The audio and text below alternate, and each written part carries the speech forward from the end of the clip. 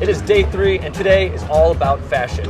When Blue Jeans asked me to cover the festivities here at Sundance, I thought to myself, that's an interesting name, Blue Jeans. So today, in the spirit of fashion, we're gonna hit the streets of Sundance and check out some wares.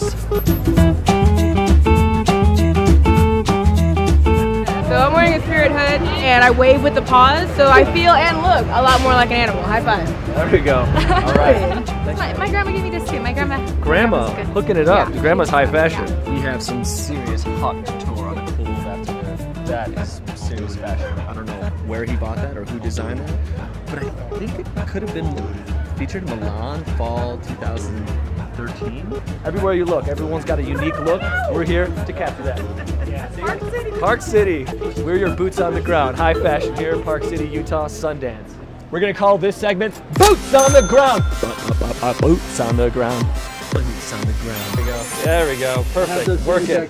The coat is clearance from Smith's Marketplace. okay. Excuse me, can you tell us who you're wearing? What is this outfit? Who is the designer? This is fierce.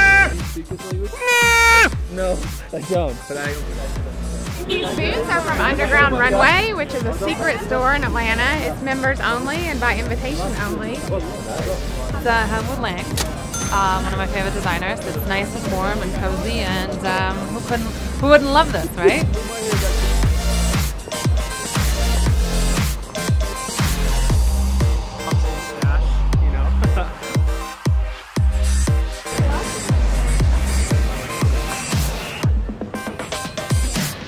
DJ Pling? Planer. Planer. Planer. Don, Donna Planer?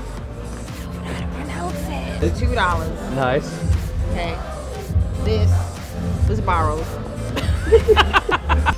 Woo! All right, that's a wrap for day three. I hope you guys enjoyed having conversations with the fashionistas here on the street. What I noticed is that it's not about how expensive your clothes are, but it's about how comfortable you are in your own skin.